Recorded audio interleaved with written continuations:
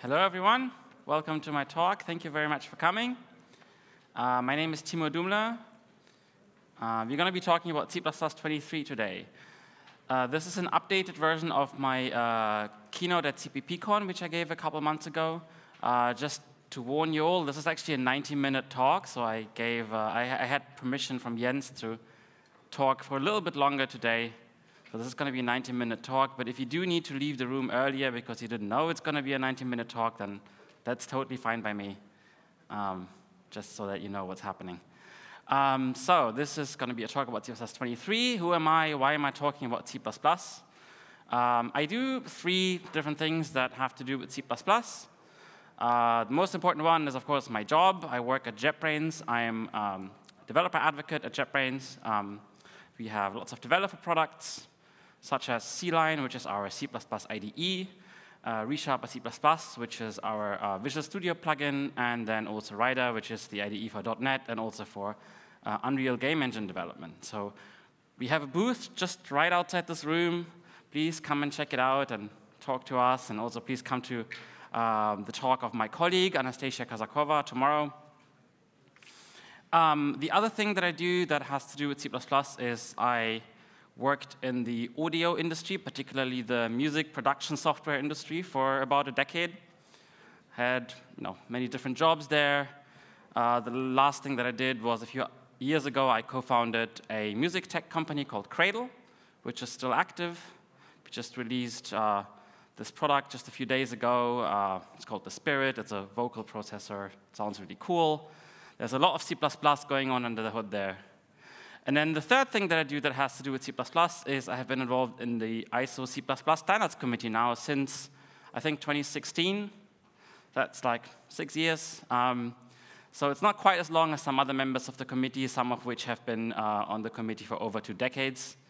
So I'm not one of those people with a gray beard that you see on, on those older pictures of the committee, but uh, you will find me on the on these ones, which are more recent. So this is when we completed C++ 17 and when we completed C++ 20. Whenever you know, we're done with a new standard, every three years they take this group picture. Uh, this last one was from um, the Prague committee meeting in February 2020, organized by Hannah. Thank you very much. It was awesome. Um, and now we are actually very near another finalized release cycle with C++ 23. We're not quite there yet. So the final meeting for C++23 is going to be in February in Issaquah, so we're just a few months away from um, finalizing C++23. Um, and C++23 at this point is already feature complete. So yeah, that's really cool. Actually, since July this year, it's feature complete. We have a feature freeze, so now we're just fixing bugs, issues. Uh, we had a meeting uh, standards committee meeting just last week in this beautiful place, Kona, Hawaii. It was great, uh, fixed a lot of issues in the standard. You think, this is actually a picture from last week, you think, you know, how awesome is it to have a standards committee meeting in a tropical island in November? Well, let me tell you, it's not actually like this, because yes, it's like this outside, but you know, what you're doing is you're stuck for six days in a you know, windowless, air-conditioned room talking about C++ wording, so don't really, doesn't really matter whether it's on a tropical island or in Antarctica, you wouldn't be able to tell the difference. And also they turn the AC to freezing, so. Oh well, um, so yeah, we have another one of those um, in February, and then C++ 23 is going to be done. So we have um, a very, very uh, good uh, image of what C++ 23 is going to look like. It's practically done. We're just ironing out a few last bugs. So it's a very good time to talk about C++ 23. And so I thought, OK, I want to talk about CSS23. How should I do this? And so um, I actually gave a talk here on this stage three years ago about C++20.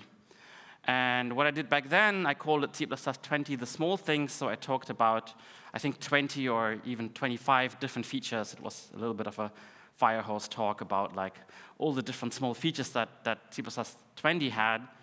Um, and it was a fun talk, but it was kind of not very deep because you don't really have time to go into a lot of depth with, with these features. And so um, I, I, wanted to do something different. So um, one year later, two years ago, here at this conference, that was the, um, hang on, let me, let me tell you this first.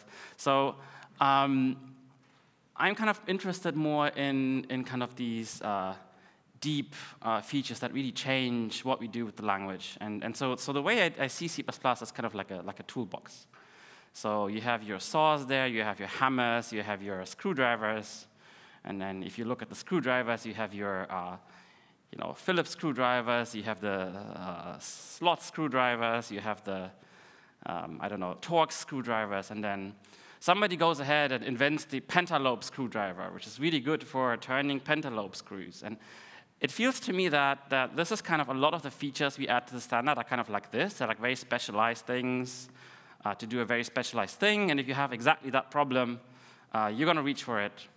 And it's good. You know, pentalobe screwdrivers are useful. But um, that's kind of not really what I'm interested in. What I'm, in, what I'm interested in is kind of like those things like the cordless electric screwdriver, right? So you can just grab one of those, and instead of turning the screw with your hand, you can now just go bzzz, and that's it, right? And so a lot of people are going to find that useful. It doesn't matter what you're trying to do or what kind of screw you're trying to turn. That's going to have a huge impact on, on how you write C++.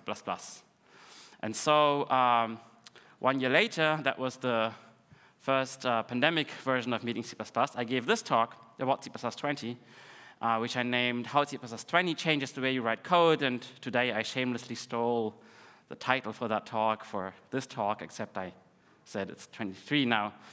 Um, so in that talk, I talked about just four features, the four big features of C++20, coroutines, concepts, ranges, and modules. And so uh, those four features, they really very fundamentally change uh, the way we write code, the way we think about C++, right? Because these four features change how we think about functions, how we think about uh, templates, how we think about algorithms, and how we think about compiling and deploying our code, right? So these are very, very fundamental things that every C++ developer has to do.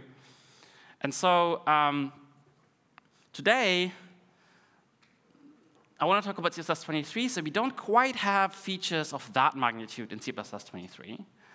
But we do have features that will have a huge impact on, on the average C++ developer. So I want to I want to see what those are. And maybe we can find, similarly to what I did two years ago, we can find four features that are going to be really impactful. So let's go in and look at what's there. So if you go to CPP reference, I'm sure some of you have seen this or are familiar with this. Uh, CPP reference has this page, which is called C++ compiler support, where it lists what features of every standard are supported by which compiler. And there's this really long list. So, so here for C++23, this is the list for core language features and you know, which compiler which implements which. And so it's quite a long list, you know. Even though C++23 is kind of a smaller release than C++20, the list is actually quite long. And then there's another list with uh, C++23 library fun functions. So this is everything that's new in the C++23 standard library. And it's an even longer list, right? It's really quite a long list. And, and if you uh, zoom out, you see how long the list actually is. So that's all the new stuff. And if you just look at the leftmost column, then you just get basically a list of all the new features. And I can kind of take that and explode that into a slide. Exceptionally, it doesn't, it doesn't really fit on a slide, actually, so it fits on three slides. This is one slide with all the new um, language stuff. And then we have two slides, one and two, with all the new library stuff, right? So that's quite a lot. It's definitely um, more than I could talk about uh, in any talk, definitely a 90-minute talk. So what we need to do is we need to kind of reduce that list down until we have a shorter list of the actual things that we want to talk about that are going to be really, really impactful. So let's try and do this. Let's try and reduce this list. So this is the list of language features, and let's just go ahead and remove everything that's kind of a deprecation, undeprecation, removal of something or clarification of something. Um, and let's just get rid of that. And then let's do the same um, for the standard library stuff. So page one, page two. So our list got a little bit shorter. And then um, we're going to go back to the first uh, slide of the library features and remove everything where something just got kind of tweaked. Uh, we added a noexcept here, we added a constexpr there, we added like a new constructor somewhere. You know, these are good additions, but they're not really big, impactful features. They're kind of tweaks. So I want to just not talk about that today in this talk, because this talk is about impactful uh, big features. So let's remove that, and also on the second page. And, and then um, there is a huge uh, kind of bucket of features, which is everything that has to do with ranges. So on the first page, and here even more on the second page, you see quite a lot of stuff has been added to ranges. We actually have a study group just for ranges on the, um, on the committee, and they have done fantastic work. So uh, ranges got, got a, lot more, a lot more features in C++ 23. But I'm not a ranges expert, so I would say it's kind of its own kind of subset of the language, which is really interesting, but it deserves its own talk. I'm not really a ranges expert, and also arguably, it's great, but it's kind of adding to something that we added ranges in C++ 20, so it kind of expands on something that we started in 20. It's not completely new, right? It's like an addition. So let's remove all the, all the ranges-related stuff. And then there's another big bucket of features um, in the language, which is um, there's been a lot of work going on um, about text encoding and Unicode and all of those things. So we also have a study group for that, um, SG16, and they have done fantastic uh, work um, as well. Um, I hear that we still don't quite got it right, so there's still some things about Unicode and text that don't quite uh, uh, work, but you know, we're getting there. Um, a lot of um, people are Unicode experts or character encoding experts um, on the committee. Here's one of those people, uh, Corentin. Um, if you don't know who that is, he gave a, a, fantastic talk actually at CppCon 2019. This is a, just a five-minute lightning talk about text, which is fantastic. Um, it's one of my favorite lightning talks of all time, so um, I recommend you watch it if you want to watch something fun in five minutes. This is really cool. And uh, in that five-minute talk, he managed to convince me that um, A, text is really hard, and B, you know, we still, we still uh, didn't quite get it right. So um, I don't think it's time yet to talk about text in C++ um, in a talk like this. And you know, if it was, I, I wouldn't be uh, a good person to do this. I think Corentin would be a much better person to do this. So, so let me just go ahead and, and not talk about the text stuff now, even though there's some really good stuff in there. And so um, there's other uh, features that, that we, we got in C++ 23 that are also kind of improvements of existing features, right? So not really completely new stuff. So there's things like um, class template argument deduction, which now works with inherited constructors. So if you're inheriting constructors, you don't need to write deduction guides anymore, and you get them for free. Or lambdas, for example. Uh, you know how if you don't have parameters, you don't have to write the param paren, but if you have mutable, then you do. So now you don't anymore. So you know all these like improvements of existing features, which you will kind of discover along the way as you use them. So again, I wouldn't say they're like massive, impactful features. They're kind of improvements. So um, I'm not going to talk about any of those today, even though it's really good stuff. And so uh, also for the standard library, uh, I'm not going to talk about anything where we added functionality to like an existing class or an existing facility, even though it's great, but it's not completely new. So let me remove uh, those things and also on the second page. Um, and now um, you see the list got quite a lot shorter. So now actually everything fits on one slide. So, so this is the slide. And, and now those are the features that are really completely new, like not additions or improvements, but completely new features in C++ 23. And so this list is still a bit too long, so, so let me try and whittle down the list a little bit further. So um, hash warning, hash elifdef, hash elifndef, they're new in C++ 23, but compilers have supported them for ages, so arguably not completely new. Um, labels at the end of compound statements, it's kind of a C compatibility feature. Not going to talk about that. If consteval, arguably kind of a bit of a cleanup from C++ 20, where we introduced this constant evaluated, but it's kind of a bit weird, so, so this is better. Um, literal suffix for size t. Yeah, this is cool. We now have a suffix where you can write a size t literal uh, for signed and unsigned, and it's z and uz, so that's that. We talked about it. It's good. Um, requirements for optional extended floating point. Oh, this is a cool one. So um, we now have std float 16t and std float 32t and float 64t, so like fixed size floating point types. So it's a little bit like the fixed size integer types, like std uint 64 underscore t or something like this, except um, so for floating point types and except the integer ones, they can be type defs. These are guaranteed to be uh, their own type. So really cool for numeric stuff, uh, excellent material for numerics talk. That's not today's talk. And then there's auto paren x and auto curly x, which I looked at that and I thought, um, ooh, this is kind of a weird, I don't quite understand this. This seems to be kind of a very niche expert expert feature. But then it was pointed out to me that this is actually really cool and it opens up API design in very, very interesting ways. And I was like, huh, I need to look into this. But um, I don't quite understand, um, you know, the kind of how you would use this um, in API design. So um, I think I need to catch up on that and maybe mention it in, a, in another talk. So also not going to talk about this. Attribute assume, um, this is something that's very close to my heart. I have spent three years standardizing this. It was hard, but we got it in C++ 23. So this is basically a feature where you can say assume expression, and then the, uh, the, the, compiler can assume that this expression is true without checking it, and then optimize based on that assumption. So that's very cool feature if you write very low latency, high performance code, and you just squeeze the you know, last nanoseconds of performance out of this particular uh, piece of code where the compiler, the optimizer, doesn't quite understand what it is that you want. So this is now kind of a portable way to do this. It's cool, but it's also very, very dangerous, right? So you can easily just introduce undefined behavior into your program, and then everything goes off the rails, and you get super weird stuff. So it's a very sharp knife that you need to be careful with, and there's also this um, feature std unreachable, which is kind of related.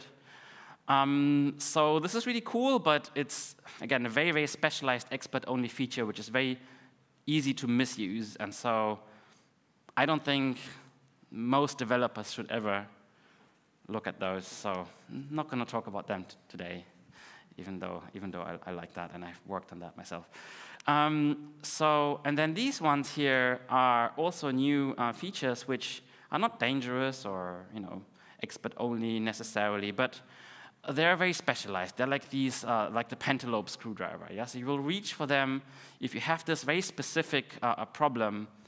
Uh, you will reach for that specific tool, but I would say most developers will probably not have to deal with most of those. So, so gonna you're gonna like look, reach for them and, and look them up, you know, if and when you need them, but um, not for today. And, and so this is what we're left with. I think these are like the really big new features in C++ 23. This is kind of the meat.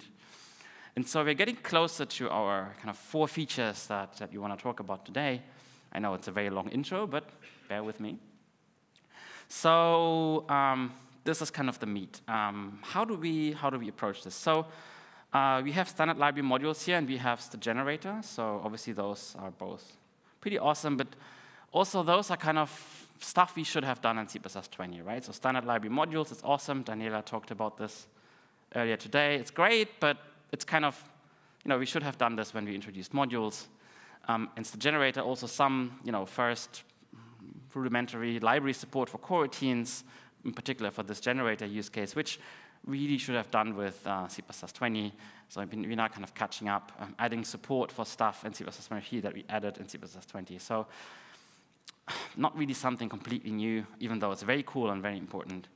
And then also these, um, I would say, um, they're great libraries. And if you, if you, so you have stacktrace library, move only function, and those um, kind of contiguous layout um, associative containers, flat map and flat set, they're very good if you want to be you know, cache friendly.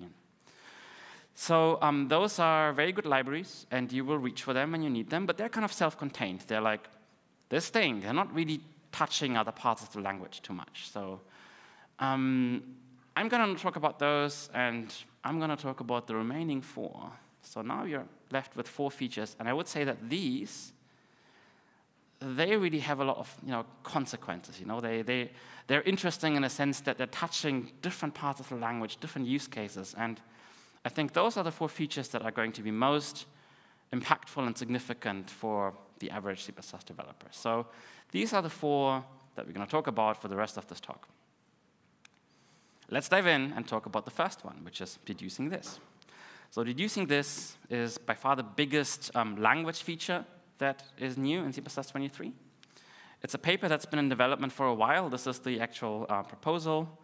Uh, so Ben, uh, Ben Deane, one of the co-authors, told me that he was thinking about something like this since C++ 20, sorry, since 2013, and then there were a couple other people who were thinking about a similar problem around the same time, and they teamed up and they started working on this. So this feature has been gestating for quite a while, and finally we got it in a standard. Uh, so Ben, one of the co-authors, actually gave a fantastic talk um, at CPPCon uh, last year, which is called Deducing This Patterns, which is one hour just about deducing this. So this is, as of right now, I think the ultimate reference for this. So if you want to know more, watch this. Um, I don't have a whole hour to talk just about this feature, so I'm going to be you know, not quite as exhaustive as Ben was, but hopefully I can get across why did you think this is cool, what you can use it for, why, why it's important for you. So this is a quote by Bjarne uh, Stroustrup, the creator of C++.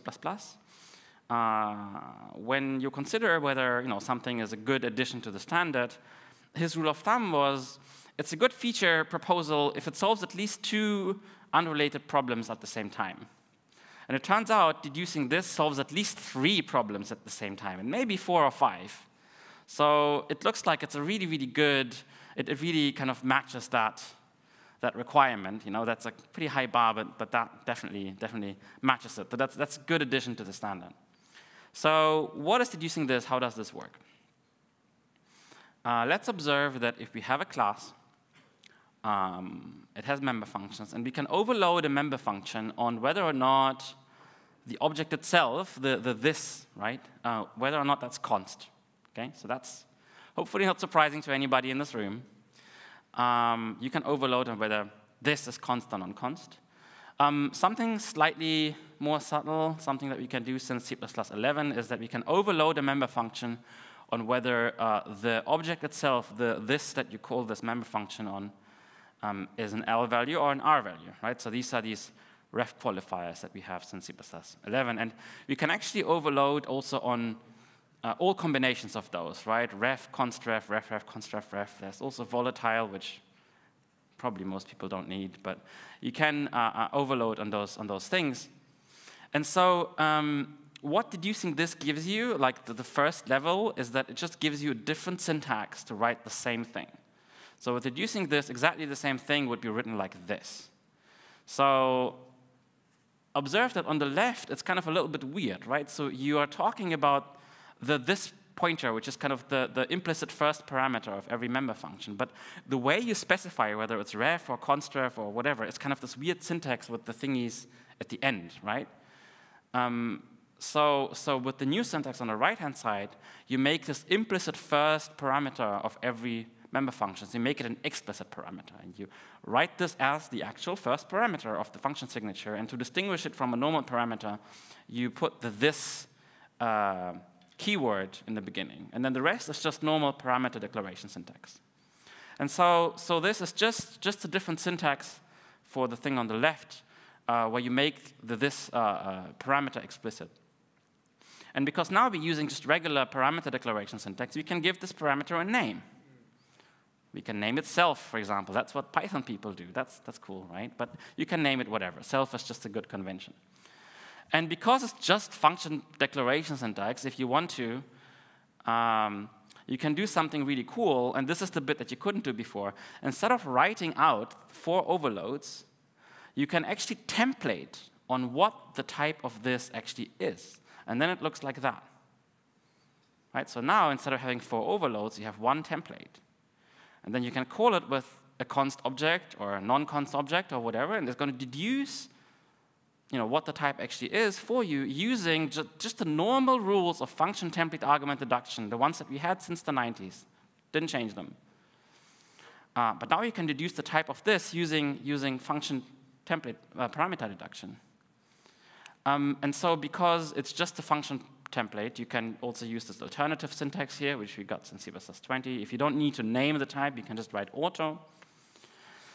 And so, so this, is, this is what deducing this is. And now let's look at what you can do with it, because it's really cool. It's, it's kind of a very small addition to the specification if you look in the wording of the standard, but it has all these wide-reaching consequences. It kind of ripples through the whole language and lets you do all of these cool, cool new things. And so one kind of very obvious thing is that it gets rid of duplication, or in some cases actually quadruplication. So what you have to do in C++20 and before, a lot of the time, you actually have to write out these overloads. And so, for example, this is something you hit when you implement something like optional. It has um, member function value, which returns the value of the object that's stored inside the optional. And it's kind of really just one function that does one thing, but because you have all these different cases, uh, you know, L value, R value, const, non-const, and the, the return value needs to be different in every case, you end up writing out these four overloads, right? And so you end up duplicating or quadruplicating essentially the same function body four times, which is not good. We don't like that, right?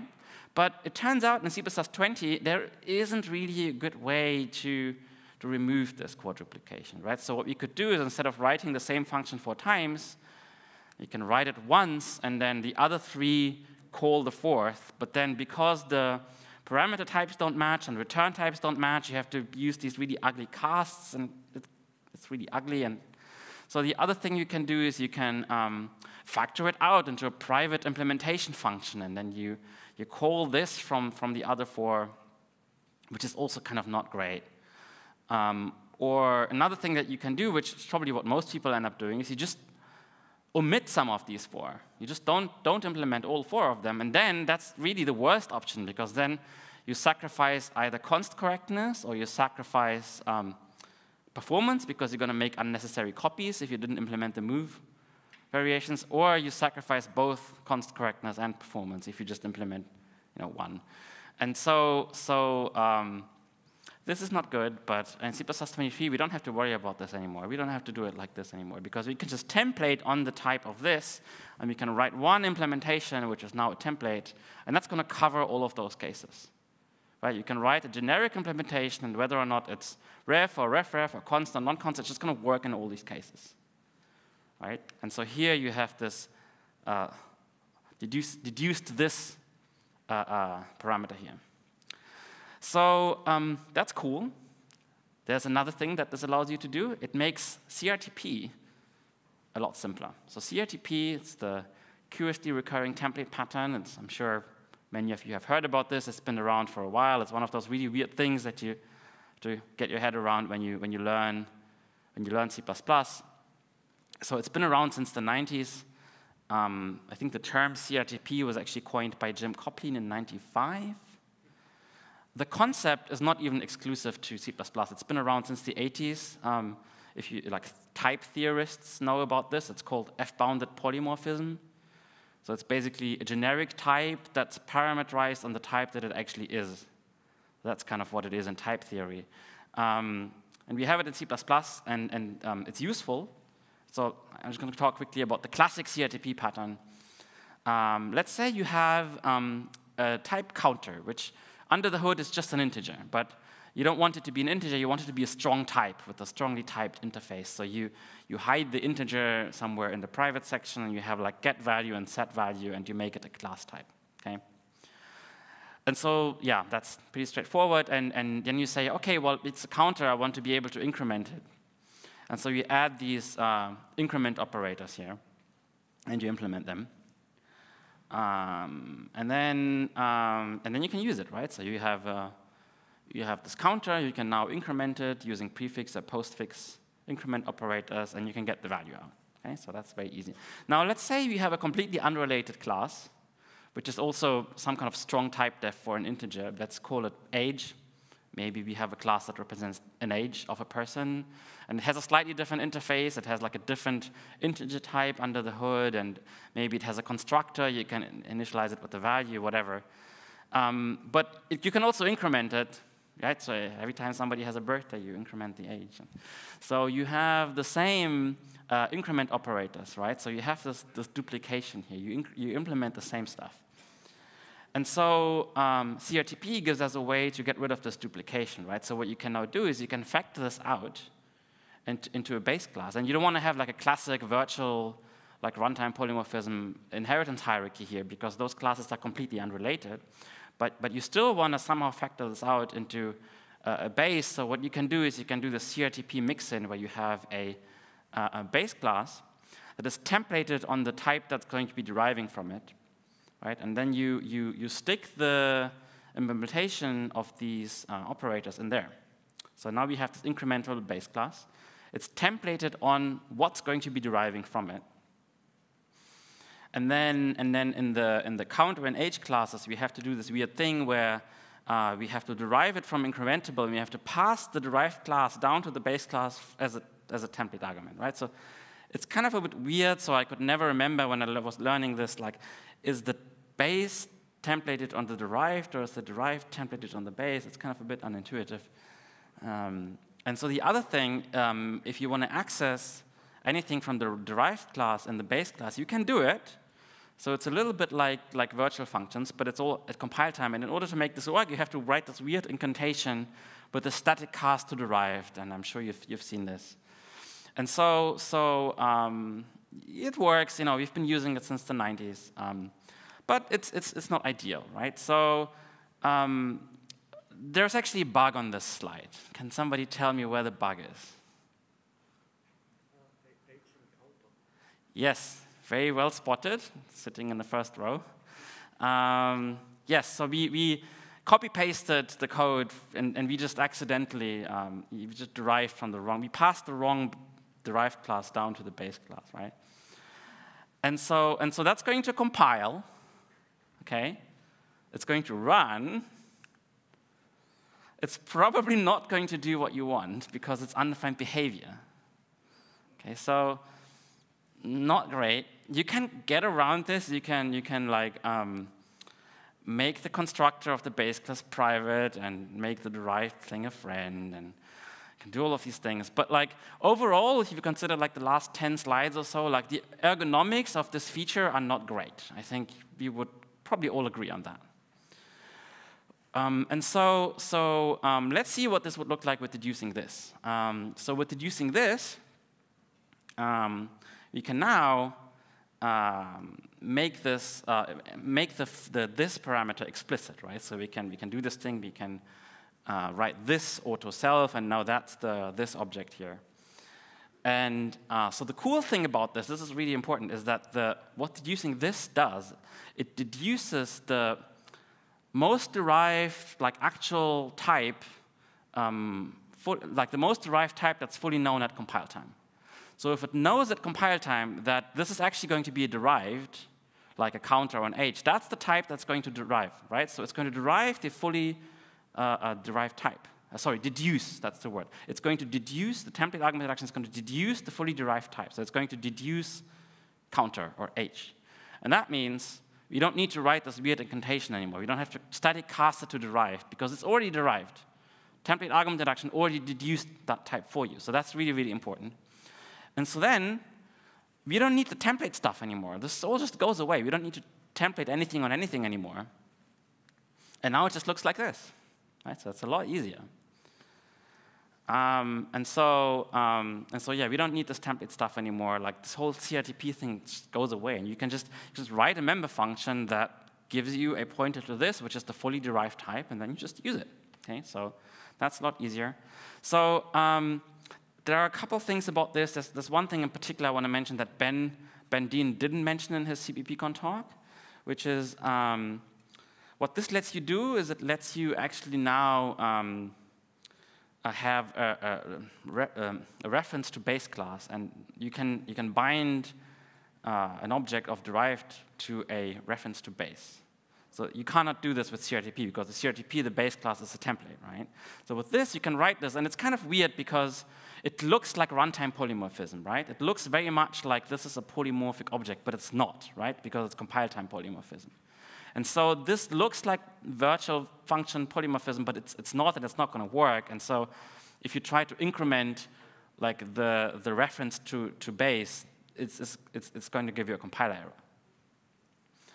Um, so, you know, the type theorist would say that f-bound, like uh, deducing this um, replaces uh, intrusive uses of f-bounded polymorphism, which is where you use the derived functionality from inside the class, but it doesn't replace kind of non-intrusive usages where you deduce, where you use the derived functionality from the outside.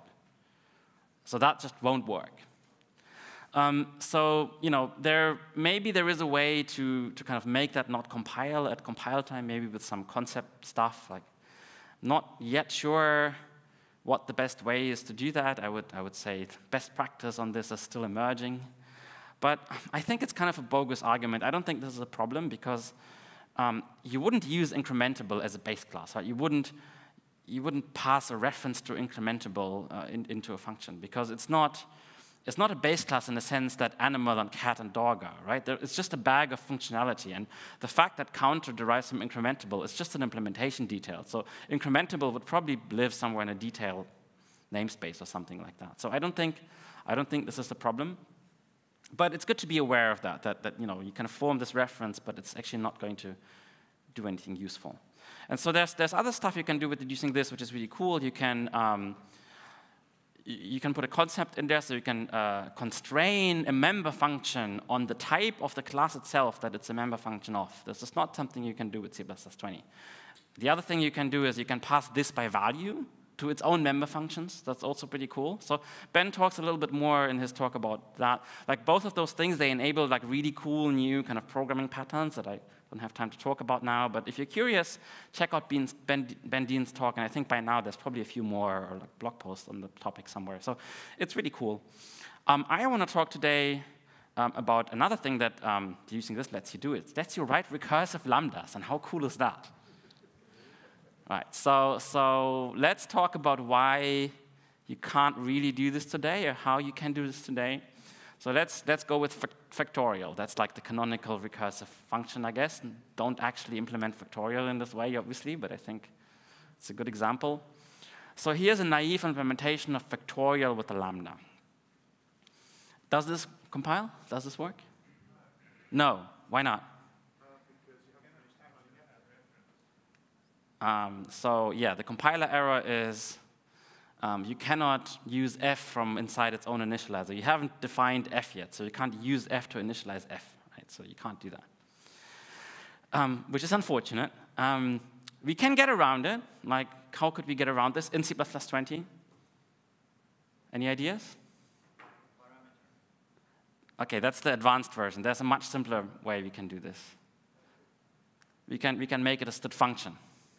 So that works, right? You can, you can declare a function and then capture it by reference and then use it inside the Lambda. That works. It's not great, right? Because that function has all this overhead. Like it, it's, it's a big, it's a function, ob it's an object, right? So it might, it has all this type erasure machinery inside. It might allocate memory. I mean, probably not in this case, but um, it's probably not a good solution. It's like overhead that you don't need. But uh, you can do what the gentleman in the back said. You can make it a parameter.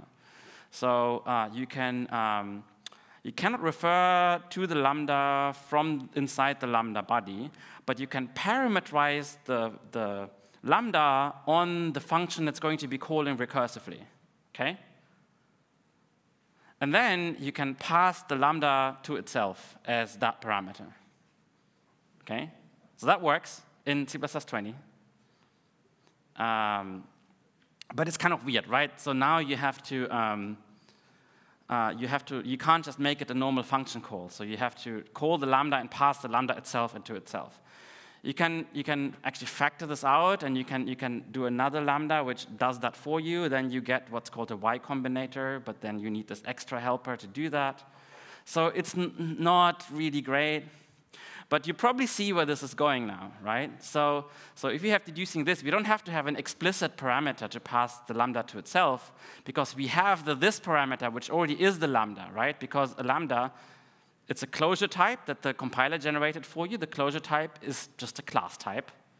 Uh, the, the body of the lambda is operator paren paren, the call parameter, which is just a member function of that class type, which the compiler generated for you.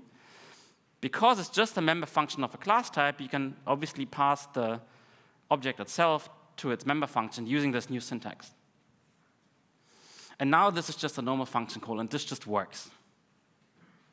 How cool is that? It's cool, right? Now you, you, you could say, okay, this is just a toy example. Like, why would we ever want to do this in practice? Well, here's an example, actually, again, from Ben Deane's talk, um, which I find really cool. Um, here's, here's a use case. So let's say, and this is classic C++ job interview question. Let's say uh, we want to do tree traversal. So we have a binary uh, a tree, uh, which we're going to implement just with the variant, right? So every, every tree is either a leaf or, an, you know, sorry, or, or a node with like a left tree and a right tree, and then it's kind of recursive. So we just want to now recursively uh, traverse this tree. And so uh, what we can do is we can do this trick, which um, I've talked about in my Lambda, uh, Lambda idioms talk, and it's on cppreference, and I'm sure some of you have seen this. It's kind of, by now, relatively popular idiom. So what you can do is you can have this overload set, where you inherit from a bunch of functions, and then you make those functions base classes. So you, you kind of have a variadic pack of, of base classes, and then that's an aggregate, right? Because it has nothing else in there, so it's just an aggregate, and the base classes are the elements. So you can initialize it with aggregate initialization with the curly braces, and then you inherit the call operator from all of, the, of these base classes. So you get this overload set. And so uh, we create an, over and, and, if you create an overload set, that's really good for std variant, right? So we can do std visit on a std variant and give it an overload set, and that's going to call the correct overload on the correct type, depending on what variant is at the time, right? And so we can create this overload set and give it two lambdas, one for leaves and one for nodes, and leaves just, it's just one leaf, it just counts it. And the node version recurses into the subtrees and calls itself recursively. And then in the end, you get this uh, recursive tree traversal here. And uh, the, the important thing is why this works is because uh, here, um, in this overload for, for node, so we do this uh, deducing this thing, but deducing this is going to de deduce the fully derived type. So the type of this const auto self in this lambda is not going to be the lambda, it's going to be the whole thing, the whole overload set. Okay? That's going to be the type. And so if we call it recursively down there, it's gonna, it's gonna call the whole overload set. And so if it's a leaf, it's gonna call the leaf version recursively. So um, that's why this works. Is this more or less clear? Okay, this is cool. So, so next time you, you're interviewing for a C++ job and somebody asks you to implement tree traversal, you can do this and really impress your interviewer. However, if you, if you do want to do this, I recommend you have a cutting-edge compiler that can actually compile this. Um, I think as of right now, only the Microsoft compiler can do this. Um, like neither GCC nor Clang implement this yet, but hopefully they will be because it's now in the new standard. All right. Give me a second.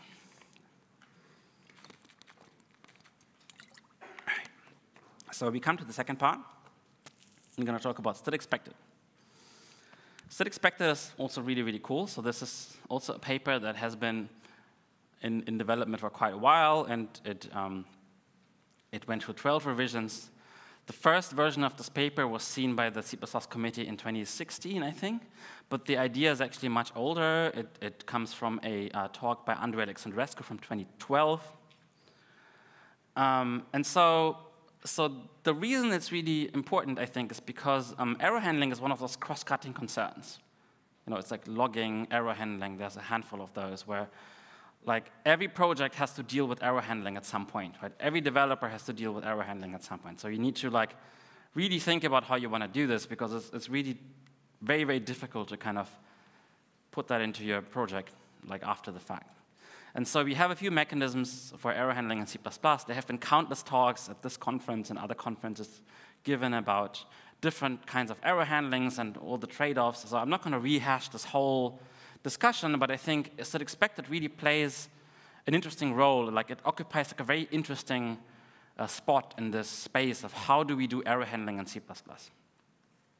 And now we have it in the standard. So I think, I think it's, it's really cool. So let's, let's do like a quick overview of like how expected fits into the, the picture here. So let's say we have a function which is going to um, uh, parse a string and then, and then parse like a string that represents a floating point number. And it's going to parse that string and return the number, okay?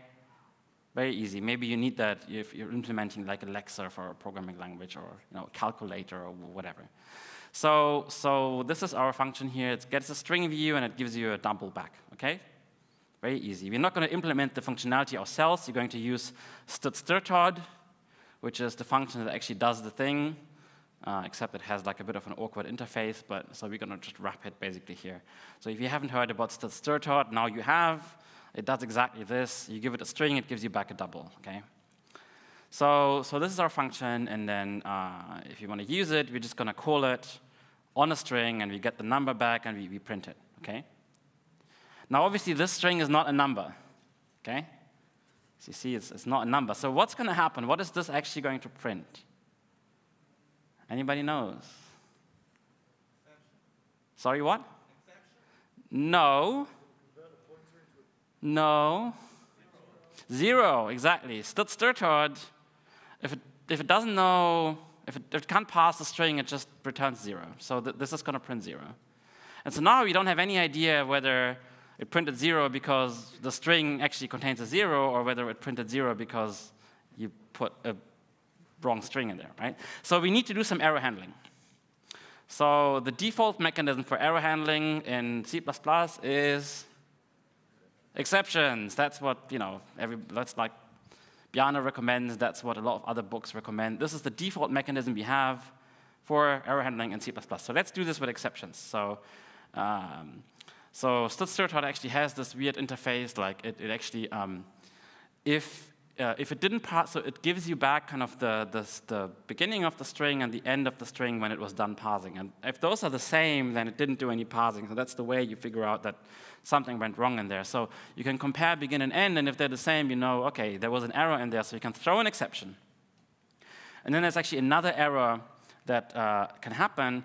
Uh, your number, your string, can be just too, too big. It it's not going to fit into double. You can write 1e 900, 999, right? And that's not a number that fits into the type double. And then you get another error, uh, sort of returns the special value huge val. Um, and you can also capture that, and you can throw another exception, right, if that happens. And then on the uh, user side, you have to wrap this whole thing into a try block, and then you have to catch different exceptions, and you can handle them. Okay?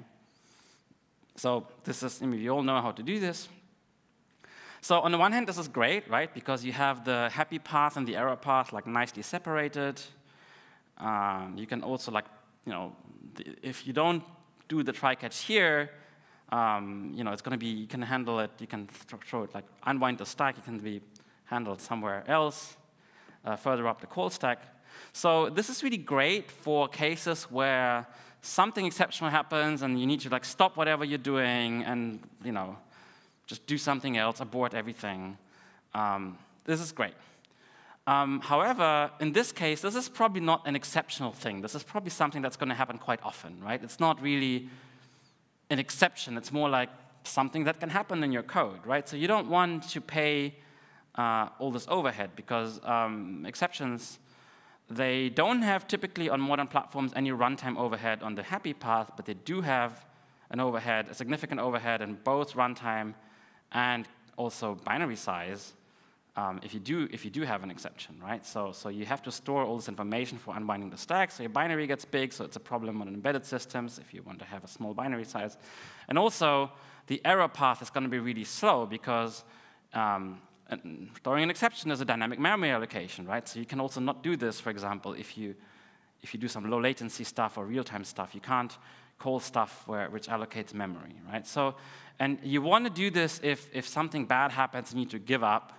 But in this case, it's just normal usage. So you don't want to pay for this overhead. And on some systems, you can't. Actually, uh, surveys uh, consistently say that about half of all C++ developers don't use exceptions either in some parts of their code or nowhere in their code, right? So exceptions have downsides, and you know, obviously what we can do is we can do what the C people do. We can uh, return an error code, right? Um, and then uh, it's kind of nice because it forces you to check for the error, right? And it, there's no runtime overhead here anymore. This is like the maximally efficient solution. Uh, so you check for the error code, and if, the, if there's no error code, if the return value is okay, then you can, you can do your thing. But it's kind of weird, right? Because um, now um, the error handling takes over the function signature, right? So the return value is now just the error code, and the actual return value is encoded in this in-out parameter. So you have to create the double first and then pass it in by non-const reference and then So it's kind of this really weird, awkward interface. So in C++ uh, 17, we got std optional. Std optional is, in my opinion, much, much better, much cleaner.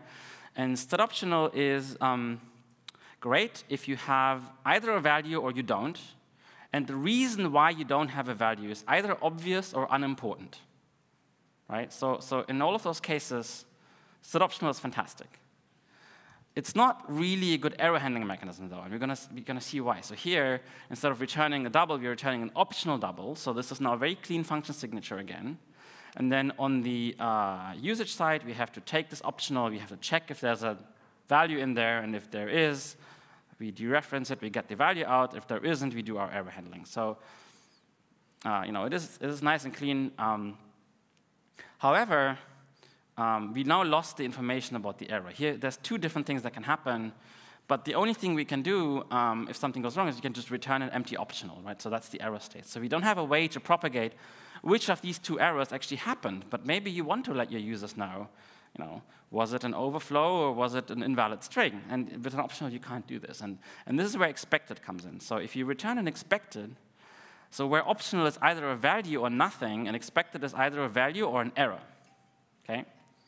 So now we're returning an expected, and um, it's actually very similar to an optional in, in, the, way, the way you use it. So if you want to construct one with a value, uh, you have this implicit conversion from value to expected. So there's no syntactic overhead for the happy path. You just return your value.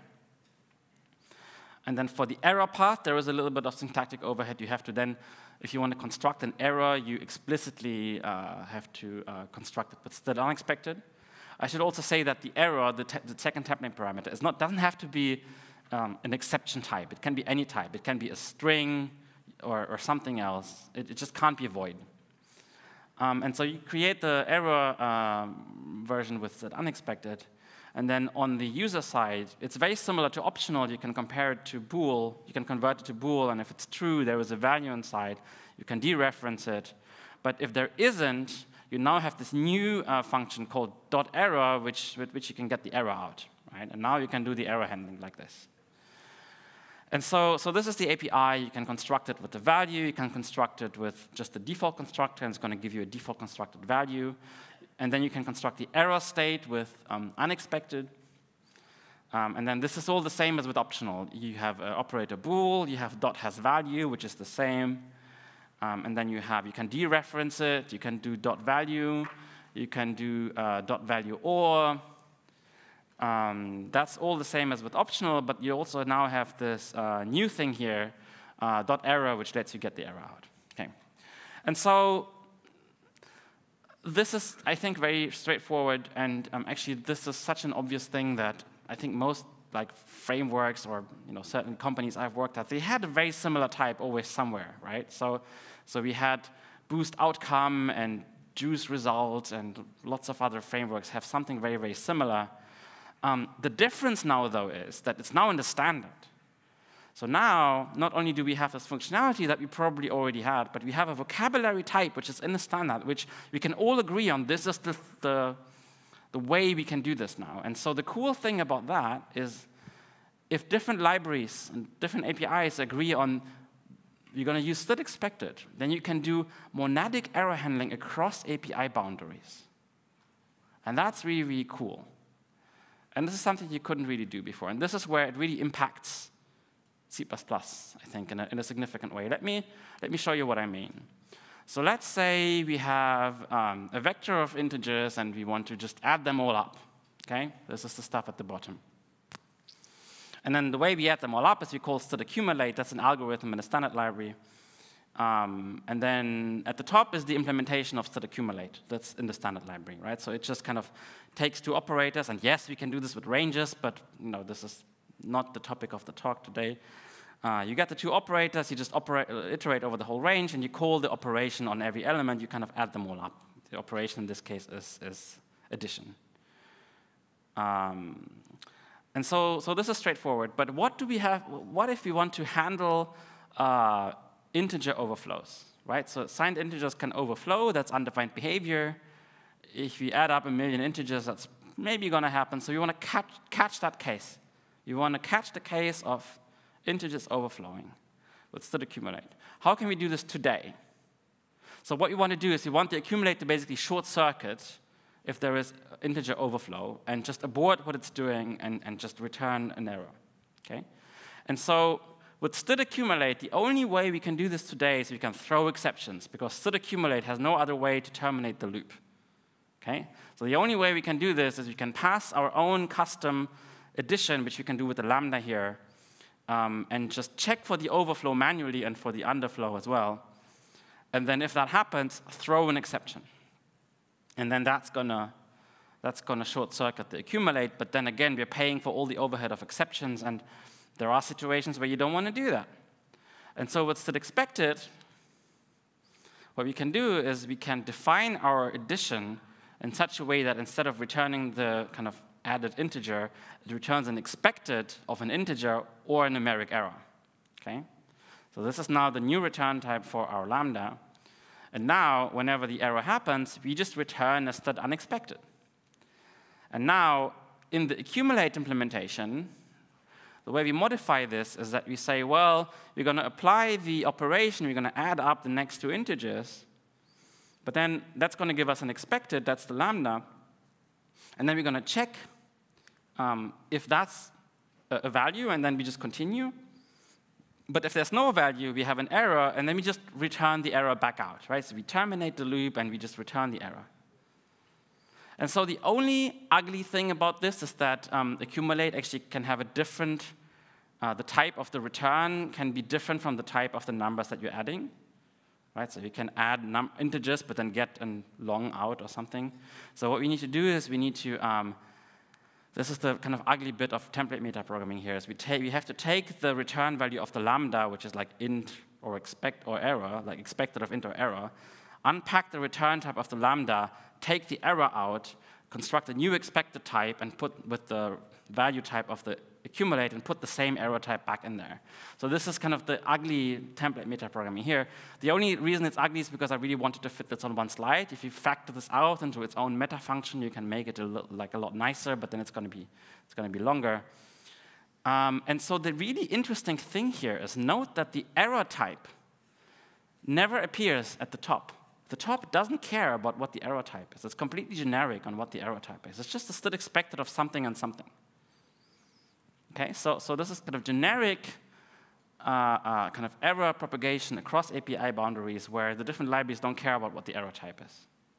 You can do that with expected. I think that's really cool. Okay, now you might, you might think, okay, what is this numeric error thing here? So is this like a base class of these two errors here? And wouldn't this mean that we get slicing because we now pass only the base class? If, and so yes, don't do this with inheritance. We can do something a lot better. We can make numeric error a variant of the different errors um, that, that we can get. And we can stick that variant into the expected.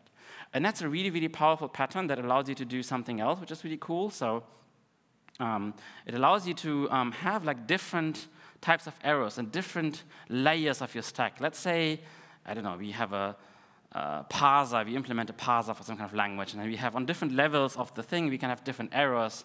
We can have a file read error, and then later we got the file, you're parsing it, so we can have a parse error.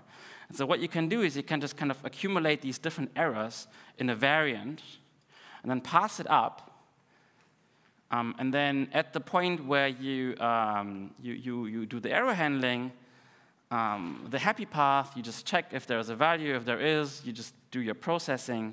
But if there is an error now, you can, you can have to do this visit on the variant. We saw this earlier, right? And then we can have different lambdas or function objects handling the different error cases. You can do this with visit, and this is actually really nice.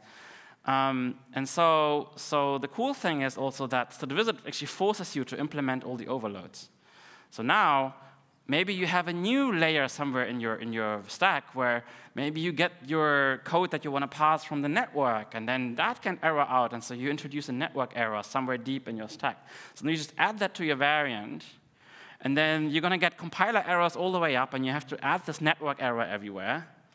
And then at the site where you do error handling, you also get an error because you need to add the network error here as well. Um, and so you, you add a lambda here, uh, to handle this case, you can't forget to handle this case because the compiler is not going to let you. And here you can either handle the network or you can rethrow the error, right, and pass it further up.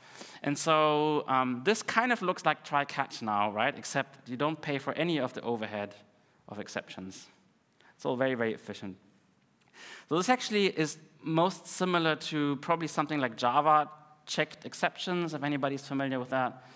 Um, how do I put this? It's not universally accepted that this is the best error handling mechanism in the world, let's put it diplomatically, but there are cases where this is a good way of doing it, and, and now it's expected, let's, let's you do it in this way. So there's actually one more thing. Um, there's these monadic functions for expected, which optional has, and, and, and expected now also has them and then or else transform, and then also transform error and error or. That lets you kind of chain things like that. So you know you can. Uh, this is like a from the paper. You can you can have a expected, and then if if if if it's an error, you can just have a continuation where you do something with the error, or if it's a value, uh, you do something with the value, and it kind of short circuits whenever you have an error. Here here's a kind of more real-world example here from John, John Wakely, you can, you can give it kind of lambdas at each stage, and it's going to pass the value into the lambda or the error into the lambda, and you can write these continuations. And so we thought for a while that we wouldn't get this in C++23, um, it would have to wait for C++26, but actually at, in Kona at the meeting last week, we uh, actually voted this into C++23. So this stuff actually did get into C++23 after all. At the last minute, we we, we added it. So, so I'm very happy about that. So now it's also consistent with optional, which also has these. So that's expected. And I, I hope, I expect that it's going to pop up in uh, many different code bases because it's a very good error handling mechanism in many cases. All right. Um, come to the third section of the talk. MD-span. And MD-span, that's my personal favorite.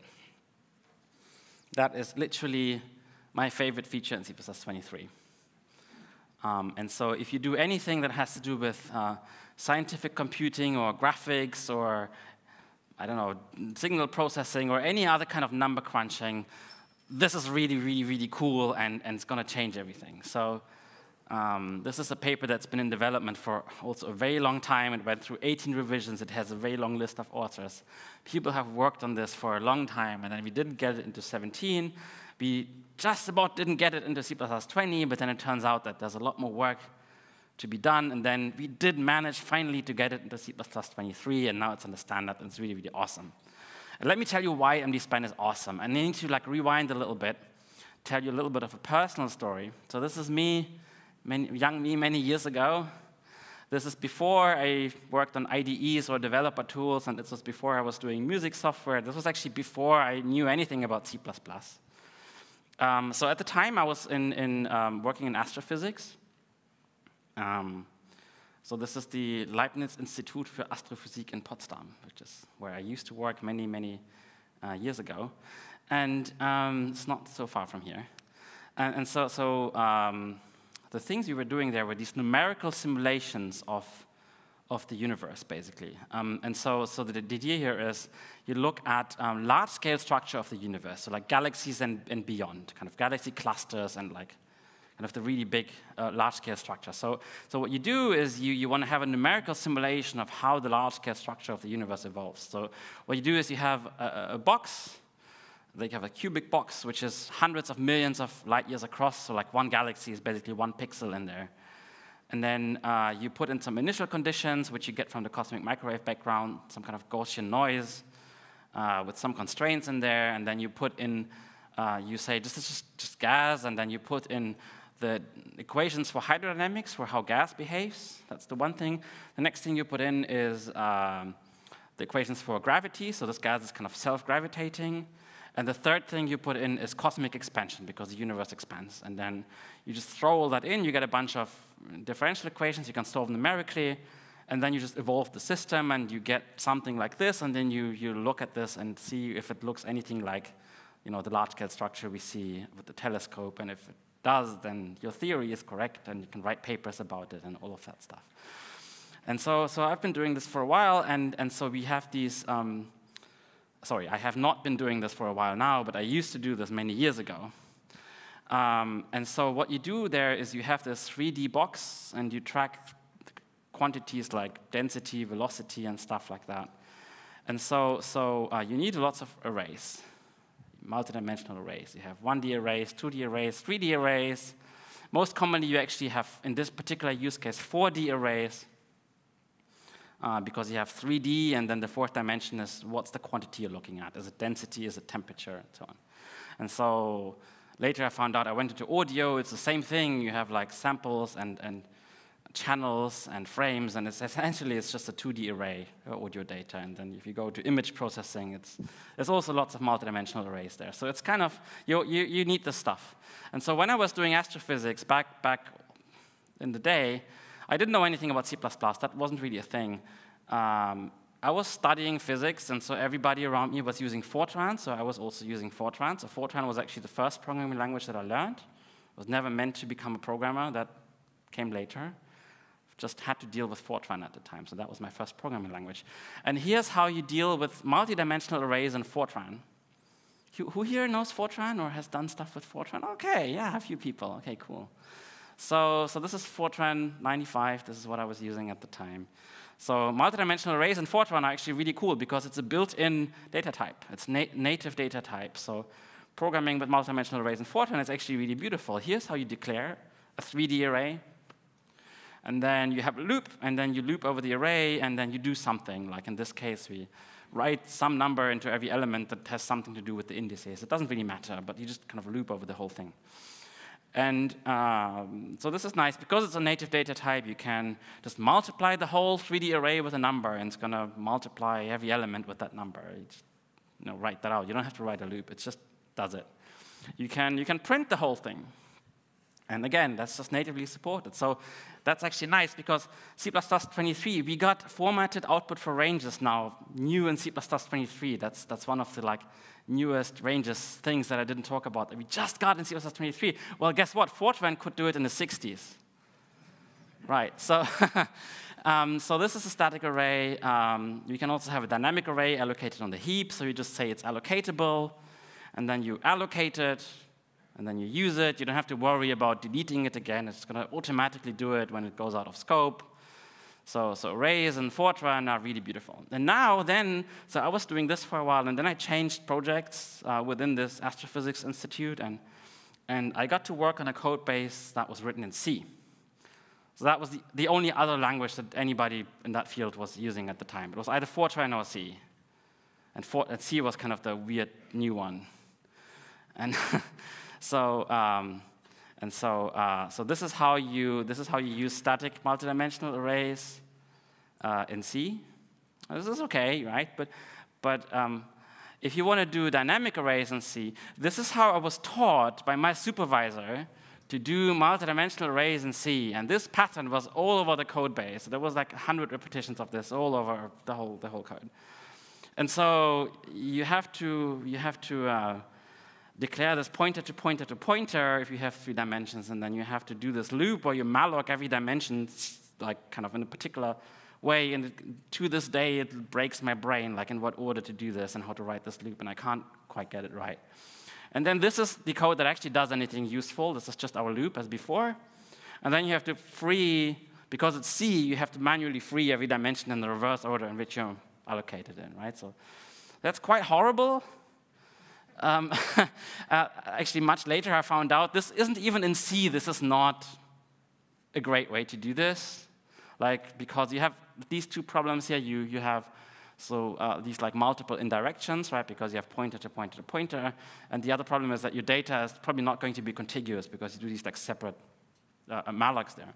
So in C, a much cleverer way to do this would be to um, allocate a 1D array, which is going to be the whole data, which is this thing here, and then you, you iterate over it with 3D indices, and you just pretend that it is a 3D array, right?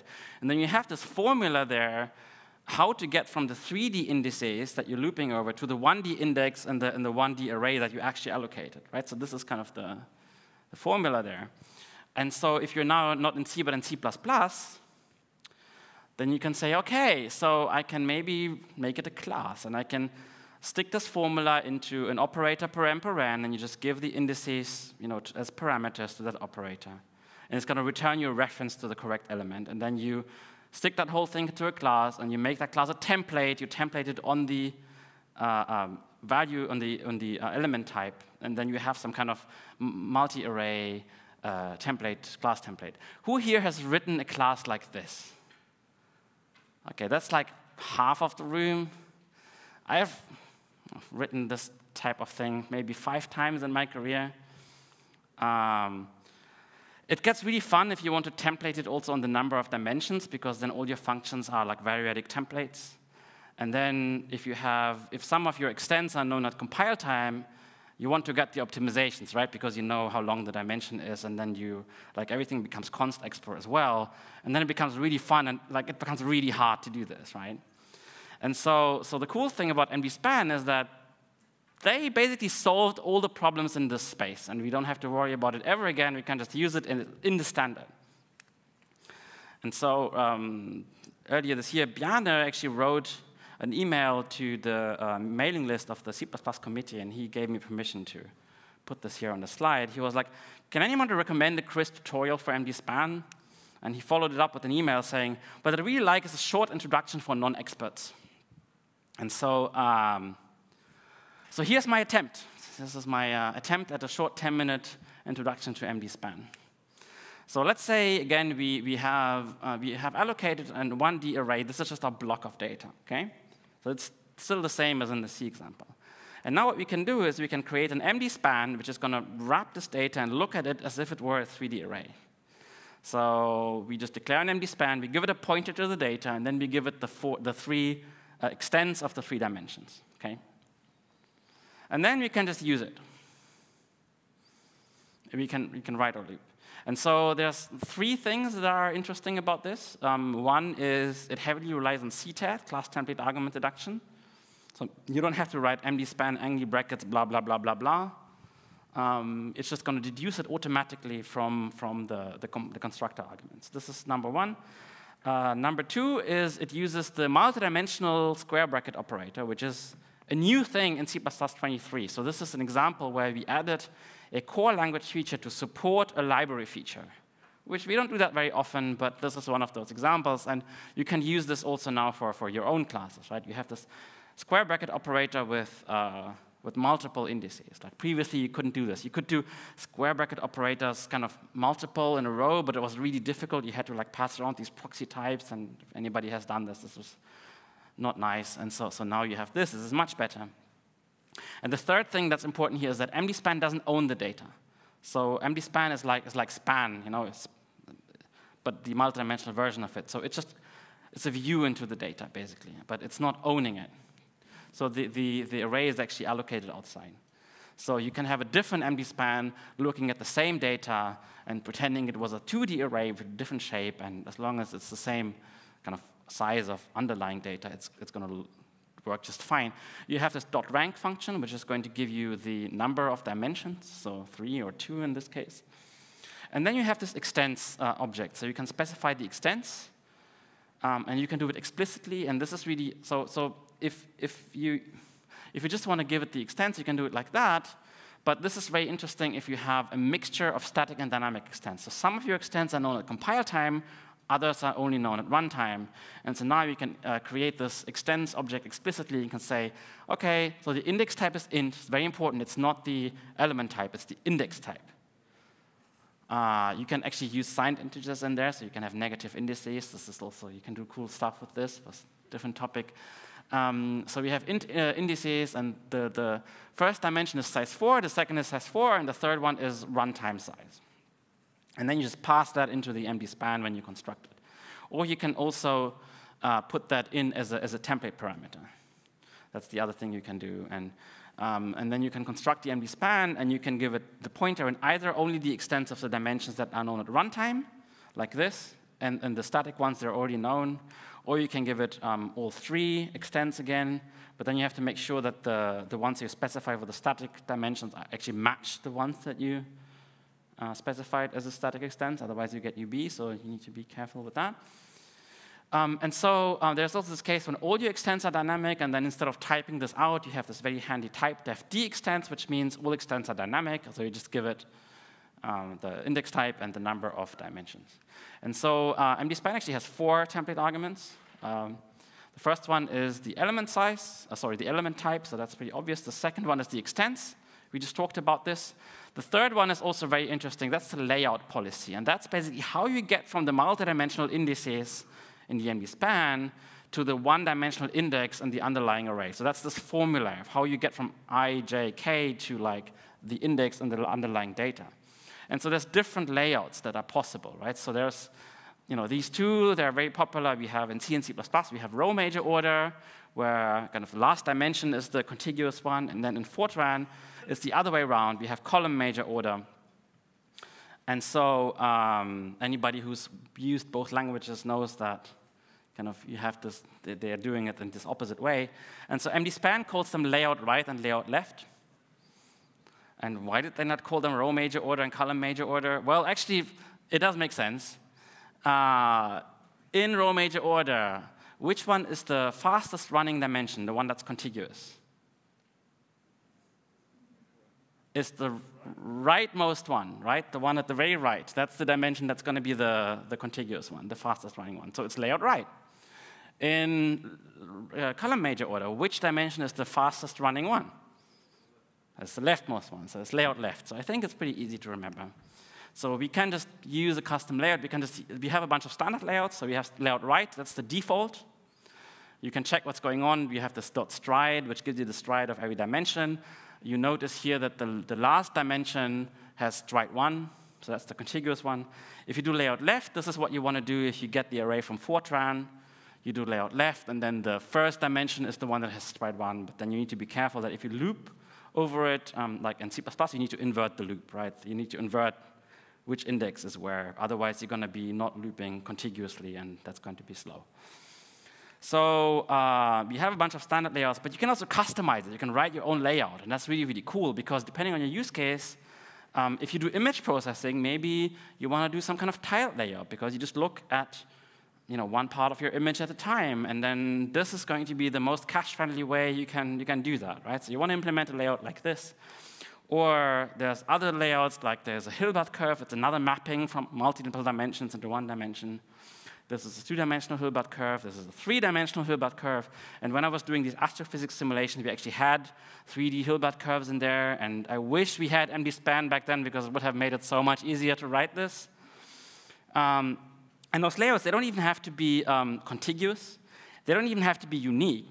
You can have you know, different indices mapping into the same place in memory. For example, if you have something like a symmetric matrix, right? So, so that you have a top half and the bottom half, and they kind of store the same stuff. So, so you can only store the bottom half in memory, and whenever anybody indexes into the top half, you just redirect them to the bottom half, and then you only need half the memory, right? So that's very efficient. And so, so I actually went in and, and implemented, just as an exercise, I just implemented this uh, kind of symmetric matrix. I just stored the bottom half layout because I just wanted to know how to do it. And I just sat down with basically just the paper, the MDSpan paper, and the reference implementation of MDSpan from Kokkos. And it took me about an hour to figure this out. So it's not difficult. It's not black magic. And so I wrote this code. This is literally like, if you copy paste it into the compiler, it's, it's literally going to work. This is like the, the, the, code that I got to work. So, so what you have to do is you have to write this layout class, and just can plug it into MDSpan as a third template parameter. So you, because it's a matrix, I, I say now, OK, it has to be two-dimensional. I only care about two-dimensional matrices in this case. So I have a requires clause rank as 2. And then uh, here I need to make sure that it's, um, it's symmetric. I do this trick here where um, if all extents are known at compile time, so the number of dynamic extents is 0, then we can do a static assert that they're the same. If at least one dimension is only known at runtime, you need to do a runtime assert that the extents are equal, right? So it's a square matrix. That's the thing you need to check here. It's a square matrix that the two extents are, are equal. And then scrolling down, this is the magic. This is the formula, how you map from the top half into the bottom half. You just swap the indices if it's the top half, and then this is the formula that gets you into the right place in the contiguous array. Um, and then there's a little bit of boilerplate I had to write to tell the MD span um, the required span size. That's like the, the size of the underlying array, which it needs to know. And then there's these other thingies to let it know whether the layout is unique, exhaustive, and strided. Uh, so exhaustive means every combination of indices maps somewhere, and unique is uh, uh like two combinations of indices map into a different place in memory, which is false in this case. Um, and this works, this compiles, this works. If you would put it into a library, you would need to make it a little bit more complete. You would probably have a copy constructor and operator equals equals and assignment and all of this stuff. Um, in my case, I didn't need that because my test code didn't use those things, but you probably want to want to add those too if, if, if you want to put it in a library or something like that. Um, and so this is the third template argument of MD-span, and this is really, really cool. There is a fourth um, argument here, which is the default access, uh, sorry, the accessor policy, and that's um, if you then found your element, how do you access it? And the default accessor just returns your reference to, to that, that element. But you might want to do something else there. You might want to access it through an atomic ref if you want to do it from multiple threads in a wait-free way, or um, GPU people use it to access data on the GPU, and you can write your custom accessor for that. And so that's also really powerful, and I would say um, accessors for non-owning types like span, MD span, they're kind of like allocators for owning types like containers. It's, most of the time, you don't have to worry about them. Uh, but if you do have a use case where you need to customize that, you really, really need to because there's no other way to do it. So, so that's really cool. This is MD span. Uh, there's talks that go into more detail. Uh, there's a talk by Bryce Lelbach, uh, who did a talk earlier this year, one hour just about MD span. I think, uh, was it Nevin Liber who did a talk uh, about MD span at this year's CppCon? Uh, so there's kind of more material about this popping up. So if you do want to dive deeper, you can do that. For example, here Bryce, he talks about how to use MD span in algorithms, why MD span doesn't have iterators, and what you do instead. And it's, it's a it's deep topic, so if you're interested, watch these talks. Um, there's also another feature coming up in C++ 26, uh, which didn't make it for 23, which is MD array. That's the owning version. So MD array is to MD span what vector is to span, right? This is like the owning version. And I'm very happy that, so we're going to hopefully get this in C++ 26, but I'm very happy that we standardized the non-owning version first, because this is the more generic one, right? If you have an array that comes from a piece of Fortran code, you can do it with a non-owning version, but this one is not going to be very helpful. So we got the generic kind of non-owning version um, um, in C++ 23, and that's really cool. And with this, we come to the last, uh, promise you not very long part of my talk, which is the print. And the print is, is going to change the world, quite literally, because it's going to change how we write hello world you know, we didn't change that for 30 years or something, so this is really, really, really exciting. This is a paper by uh, Viktor um, and that paper also went through many, many revisions, 14 revisions, and was in development for quite a while, like all the other features that I've talked about today. And so, yeah, this is, this is going to change Hello World. This is, this is really cool. So if you open any programming book about C++, obviously Hello World is the first thing you're going to see. Um, this is, uh, I just took Bjarne's, Bjarne's book, and this is literally the first code snippet in that book. It is Hello World. And Hello World is everywhere. If I open up my favorite IDE and I just uh, open a new project, right? So I say, I want a C++ executable, and this is what I get. So again, Hello World. That's like the default program that does something, right? So interestingly, CLion gives me something slightly different than Bjarne's book. It adds the std here and the return zero, whereas Bjarne um, has uh, backslash n and no return, so let's not talk about those things. Um, let's talk about what else is wrong with this code. So let's see out. Let's do a code review here. So what, what, what's wrong here? So, so stdcout has quite a few problems. So stdcout is notorious for bad performance, right? It's slow. It has this really weird interface as well, like it has this left shift operator and it has this like zoo of IO manipulators uh, that you kind of need to know about. So for example, if you print a bool, what is this going to print?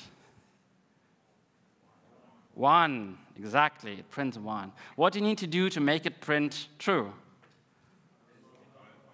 Yeah, good, std bool alpha. What header is std bool alpha in? MyIOManip, no, it's not. It's an include IO stream, actually. But others, like std set w which is the one you need to set the field with, that's an IOManip. So you kind of have to remember this. This is really, really uh, uh, kind of awkward. Um, so it's still bool alpha. But that's not even the worst bit. The worst bit is this. So if I do this in English, um, it's obviously going to print hello world, but English is not my first language. English is not my second language. German is my second language, but German is also not my first language. My first language is actually Russian. I, I was born in Russia, and so if I want to write hello world in my mother tongue, what am I going to get? So on macOS, it's going to print the right thing. On Windows, I get this. and I didn't make this up. I copy-pasted this from uh, from what's actually happening. So this is my Mac here, this works, but I have a Windows machine at home, and I tried this, and this is literally what happened, and I just copy-pasted that into the slide.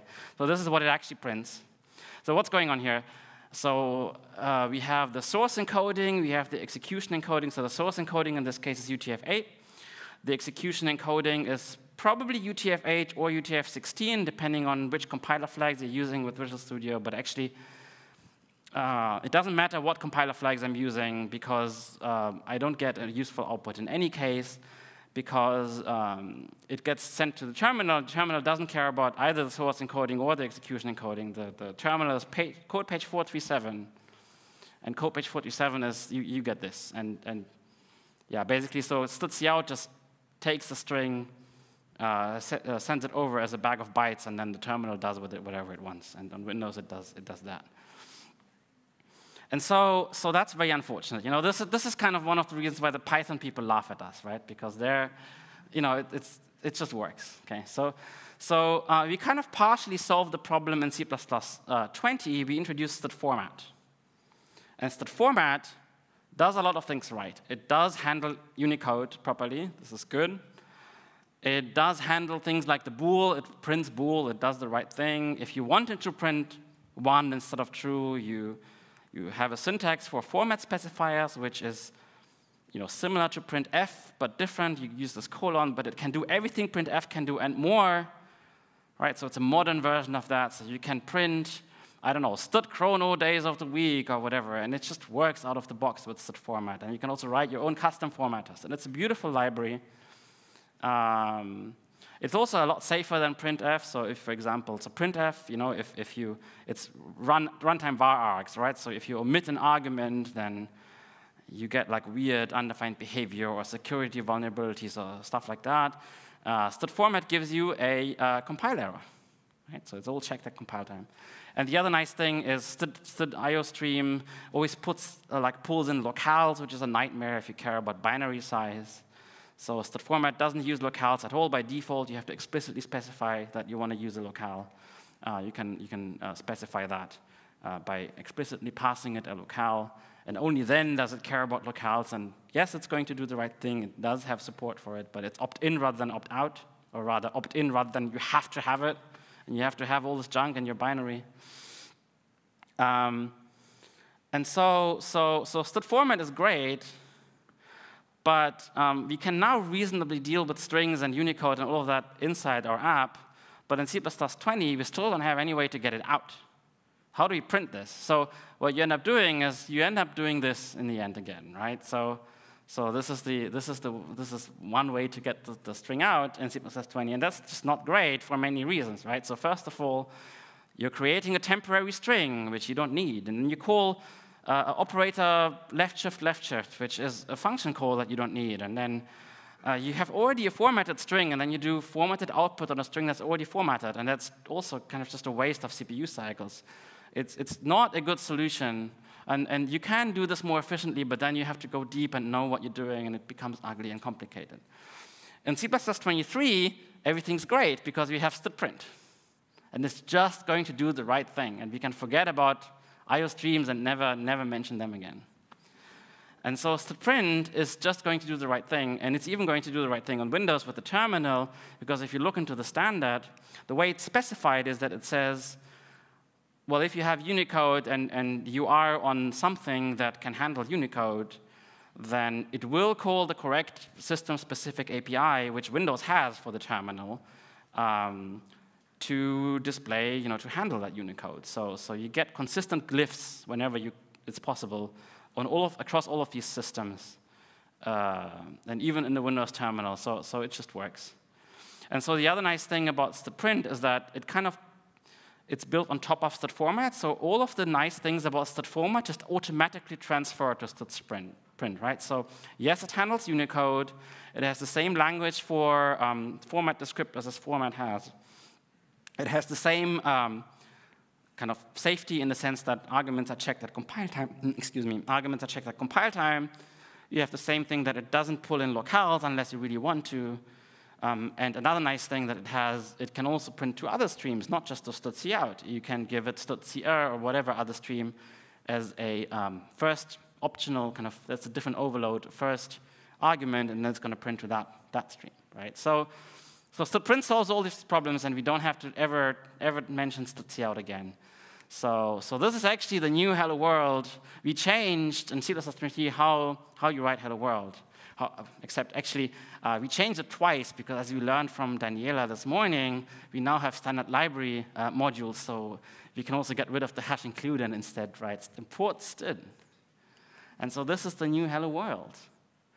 Except that um, there's actually one more thing. You still have the backslash n in there, right? So it still doesn't print the, the, the kind of new line character at the end automatically.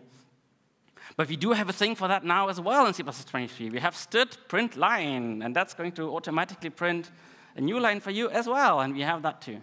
So um, I'm actually really curious which one of the two should be like the new canonical way of writing hello world. Maybe we can do a quick vote. Who likes the first version? Okay, a couple people. Who, who like this, likes the second version? All right, so, so okay, that's very unanimous. So I hereby declare the second version the new official way to write Hello World in C++.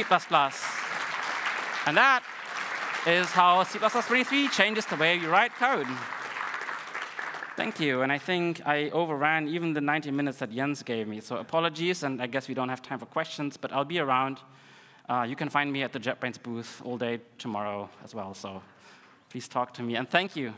And apologies for keeping you here for so long.